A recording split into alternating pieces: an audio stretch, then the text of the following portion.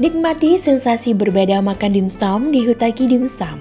Sajian dimsum bakarnya yang menggoda selera. Dimsum kuah pedas yang pedasnya dari rawit asli.